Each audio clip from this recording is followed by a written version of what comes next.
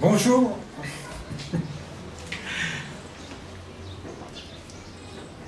Ah, ici, euh, le, confinement, il est OK.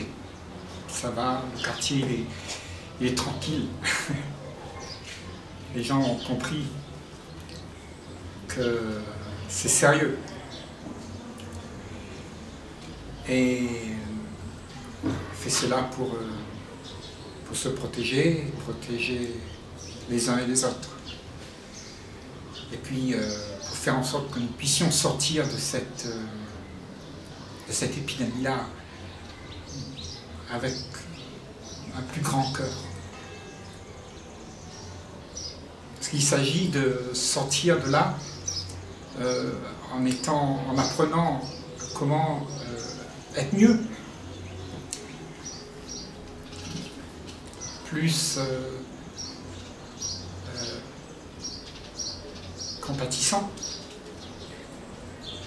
avec la souffrance qu'il y a autour de nous. Parce que c'est ça qui fait de nous des êtres humains, des vrais, des vrais êtres humains. C'est la capacité d'aller au-delà de, de nos intérêts personnels et d'aller chercher euh, à mettre en place euh, quelque chose qui est pour le bien euh, des autres. Et c'est pas toujours facile parce que notre instinct a fait que on est tout le temps en train de faire quelque chose, mais pour soi, pour se sentir bien. Et, euh, tous ces instincts instinctifs, en fait, qui sont compulsifs, euh, créent en elles-mêmes une inconscience. Parce qu'on le fait mais on n'est pas conscient. On n'est pas conscient que euh, on est en train de, créer dans le monde euh, de la division. C'est-à-dire que on crée le besoin pour moi, moi d'abord, les autres après. Et ça, c'est une chose qu'on a on a tous euh, vécu et on connaît tous ça. Mais il est très euh, facile de le mettre sous le tapis et de faire semblant qu'on n'est pas comme ça. Mais on est comme ça. Et on doit le voir. Et le voir, c'est un pas extraordinaire que l'on puisse faire, nous, pour avancer. Et, justement, parce que le, monde, il est, il est conçu comme ça. Il est conçu pour que nous puissions euh, avoir euh, du plaisir. Tout ce qui a été créé par l'homme nous donne l'occasion de jouir de tout ce qui a été fait pour moi, moi, moi. Et notre grand souci, c'est que nous le faisons depuis tellement longtemps que c'est des schémas de pensée déjà constitués en nous et qui se répètent. Et on a, euh, pour casser cette chaîne, il faut que on soit très attentif à ce qui se passe en soi. Comment sont ces, mouvements euh, euh, qui se répètent à chaque fois. Et nous avons du mal à, faire un, arrêt sur la situation et voir comment, qu'est-ce qui se passe. Être témoin de, la scène qui se joue en fait.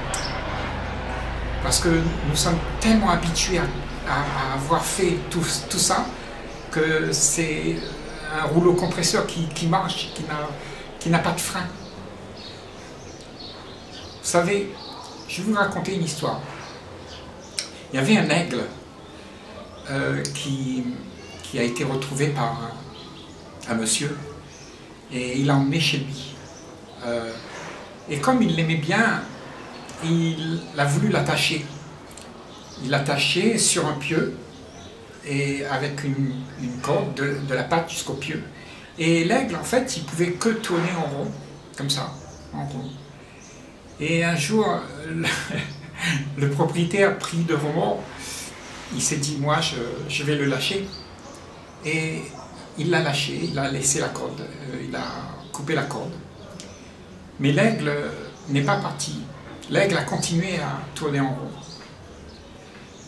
Et vous voyez, c'est ce qui se passe aussi avec nous. Même si nous avions la liberté pour nous, on continuerait à faire ce qui nous emprisonne, ce qu'on a toujours fait comme ça.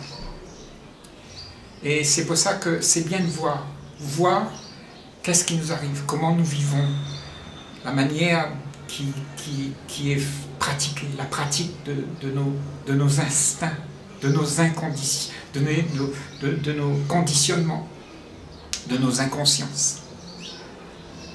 Et voir l'inconscience, c'est la chose la plus belle qui puisse arriver à quelqu'un. Parce que quand on voit l'inconscience, quand on voit ce qui se fait dans ce monde, et qui n'est pas harmonieux, qui ne donne pas à, chacun l'occasion d'être bon l'un envers l'autre.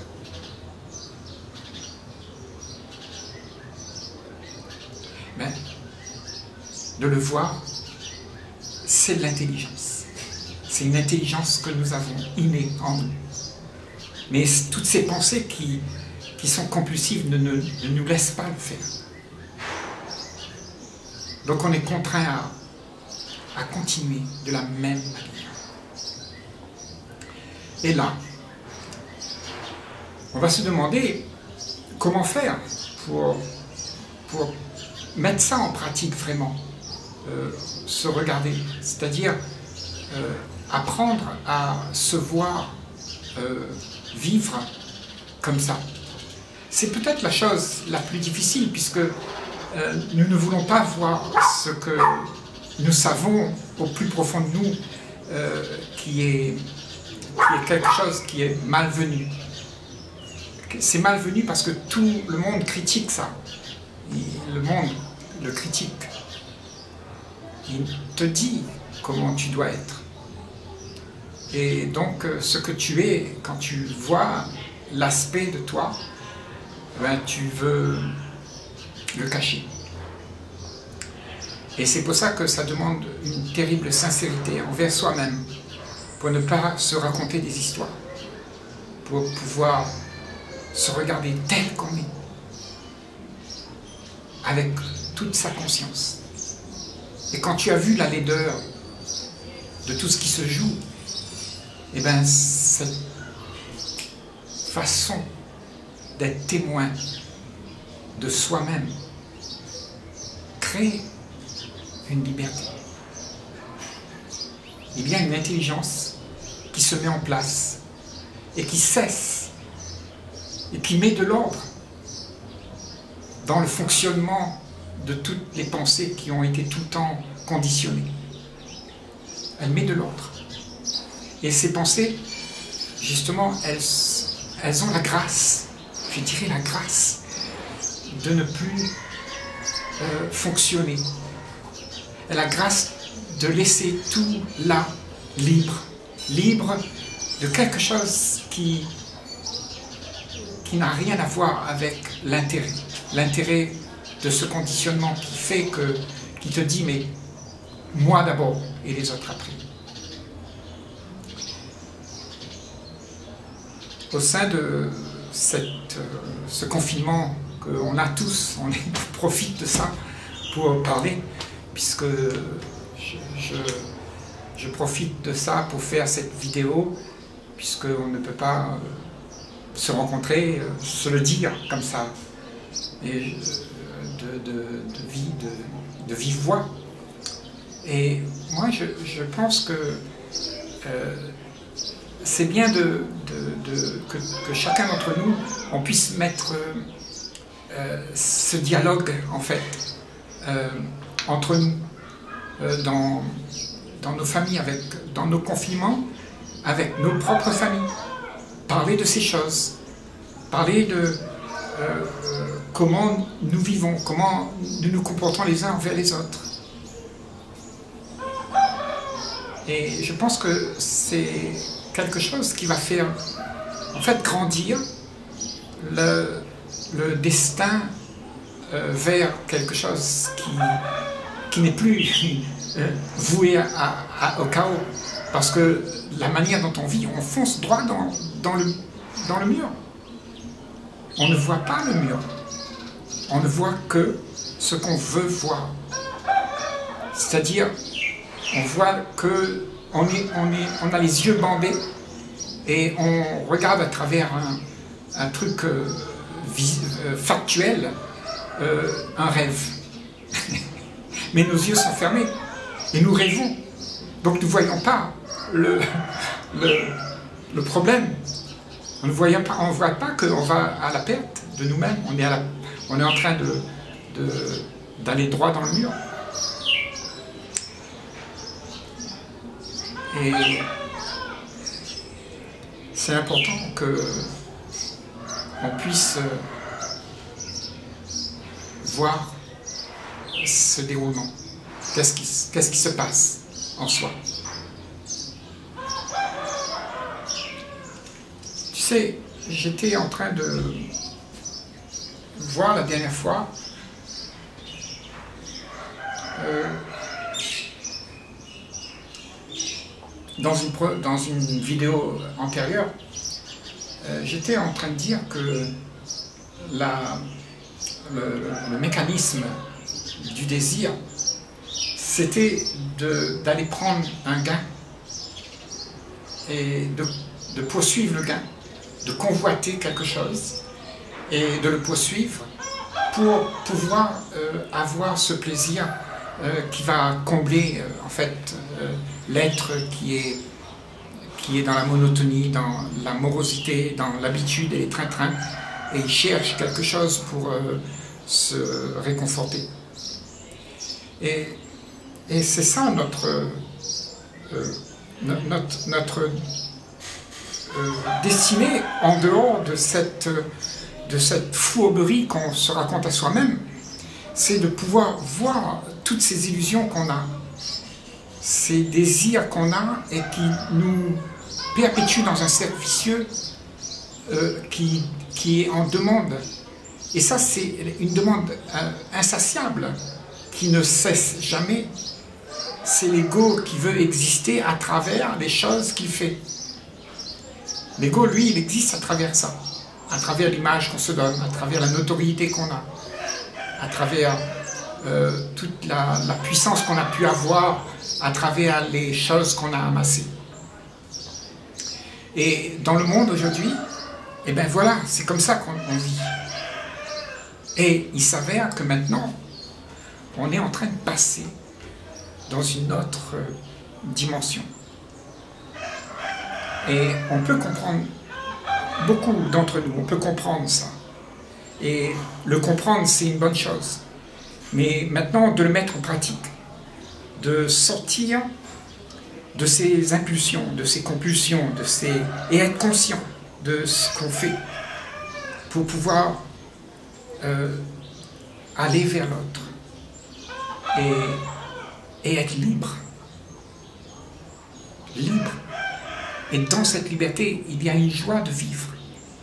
Et cette joie de vivre est créatrice de ce que nous serons demain. Donc, ta joie, ta joie à toi, elle peut aller et changer le monde. Parce que tu donnes quelque chose qui, est au plus profond de toi, quelque chose qui est créateur, qui a la faculté de changer les humeurs. Si on, se retrouve avec une humeur mesquin, et où tout le monde se bat pour, pour avoir euh, un, confinement à lui. Enfin, je parle du confinement de la bulle, euh, la bulle euh, virtuelle que nous avons chacun d'entre nous. C'est-à-dire qu'on a une bulle et on s'est enfermé dedans parce qu'on a peur d'être attaqué. Donc, notre image a peur d'être attaquée. On se met des barrières autour de nous pour ne pas que personne vienne nous déranger. Et tu vas voir que ça, c'est quelque chose complètement stupide. Parce qu'avec ça, on a cru être ça. Mais on n'est pas ça. On est là pour vivre avec une grande joie en, s'acceptant les uns les autres. En acceptant qu'on puisse chacun se rencontrer en dehors de nos bulles. C'est nos bulles qui nous, empêchent de nous rencontrer. Parce que quand, on se quand on se méfie, on va dans sa bulle et on se méfie des autres. Donc de sa bulle, on regarde par le trou de la serrure et on critique tous les autres bulles. Et en fait, euh, on ne sait pas que nous-mêmes, nous sommes dans une bulle. Nous croyons que notre bulle est mieux que toutes les autres. Mais cette bulle nous divise, nous divise les uns des autres, chacun dans sa bulle. Chacun regarde midi à sa porte. Comment allons-nous pouvoir nous rencontrer si nous avons tous ces masques, ces images qu'on se met sur soi pour pouvoir paraître aux yeux de l'autre. Il n'y a pas de rencontre. Il y a juste la rencontre de, de l'image. Une image qui rencontre une image. Mais derrière l'image, il y a la réalité. Et ce que tu es, c'est cette réalité? Et il faut que tu tu vois ça, cette, image que tu t'es fait Le vois-tu? Et pour voir ça, ça te demande d'être terriblement sincère avec toi-même. Parce qu'on a tous tendance à croire que l'image, c'est soi. Et on croit qu'on est sincère. Sincèrement, euh, à côté de la plaque. on est à côté de la plaque. On se raconte des histoires et on n'est pas vrai les uns envers les autres. C'est une histoire d'image. C'est une histoire de reconnaissance. C'est une histoire de se dire euh, euh, As-tu vu comment je suis grand et beau et fort et, et tu cherches de la reconnaissance. Tu essayes de prendre l'énergie de l'autre pour pouvoir exister dans cette image. Et de prendre l'énergie de l'autre crée, à mon avis, toujours beaucoup plus de rivalité. Une rivalité qu'on ne peut pas s'empêcher de que chacun euh, se réfugie dans, dans les, les, barrières de sa bulle. Parce qu'il se croit vulnérable et il va être anéanti. Et la peur fait qu'on se confine et on ne regarde plus les choses rationnellement. Et c'est le rationnel qu'il faut voir. Un état où tout est vu pour ce que c'est. Ne pas regarder les choses comme tu voudrais que la chose existe, mais comme elle existe. Pourquoi on est toujours en train de comparer comme ça? Est-ce que vous avez remarqué? On compare. On compare, on dit ça c'est bien, ça c'est pas bien. Et déjà là, on a créé de la division. Parce que si on trouve que l'un est OK et l'autre non, eh bien, on va rentrer dans un jugement. Et le jugement divise. Et en jugeant, on dit mais l'autre, il est différent de moi. Mais est-ce qu'on est vraiment différent? Toutes les pensées que tu as dans ta tête, tu crois que c'est différent des pensées qui sont dans la tête de l'autre? Le bien et le mal qui, est en toi, tu crois que c'est différent dans l'autre? On a tous le même fonctionnement. Il ne faut pas se leurrer. Mais on ne veut pas le voir. Les pensées qui sont, qui sont bien, on les cultive et on les montre mais en fait, on ne sait même pas que ce sont ces pensées-là, elles viennent déjà euh, de la même racine. La racine du mal, c'est le bien. Et le bien, c'est aussi la racine du mal. Comment accepter de voir que nous pouvons trouver cette liberté?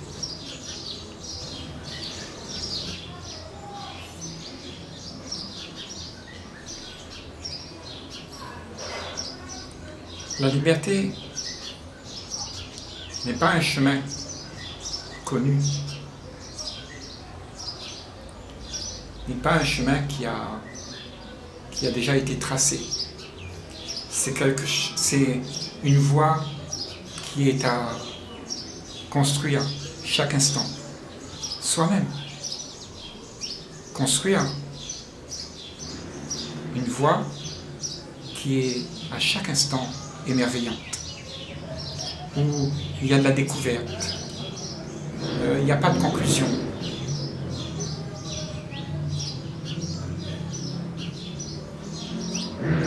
Il y a de la joie. La joie d'être euh, libre pour pouvoir découvrir ce qui est nouveau. Et ça, tu ne peux pas le faire si tu es dans tes habitudes et tes traits. Impossible. Parce que tu, tu es tout le temps occupé. Ta tête, elle est occupée. Avec les pensées, justement, conditionnées, qui te font faire vivre dans la compulsion à chaque instant. Et tout ce que tu fais est compulsif. Et de manière. Cette compulsion, elle, elle, elle, elle reste dans les sillons de la peur. Et dans la peur, il n'y a pas d'amour. Et dans la peur, il n'y a pas de découverte. Parce que tu es tétanisé et toutes tes pensées tournent en rond. Ton être n'a pas d'issue, mais inné en soi. En dehors de tout ça, il y a cette liberté. Et cette liberté n'a pas de règle. Mais la seule règle qu'elle a, l'amour. Et cet amour n'a pas de commencement et n'a pas de fin. Et elle a un grand respect pour tout ce qui est vivant. Et elle protège le vivant. Elle protège, la vie qui est en toi. Et si nous avons cette liberté-là, c'est ce que nous allons faire. Nous allons nous protéger les uns les autres. Pour faire en sorte que cette vie soit vivace à chaque instant. On ne va pas essayer de contrôler en donnant quelque chose que tu penses qui est juste.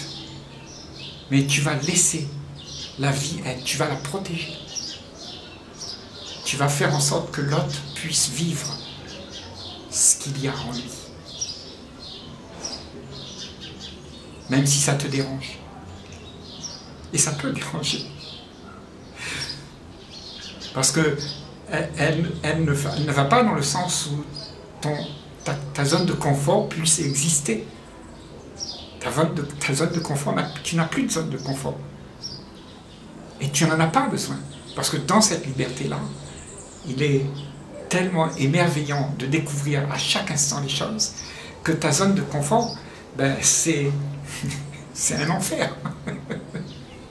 c'est une prison.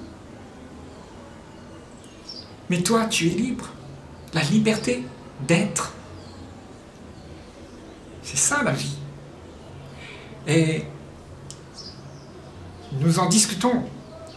Et nous allons toujours en discuter pour pouvoir euh, ensemble euh, euh, élever tout ça, faire une prise de conscience que le monde de demain est dans cette direction-là.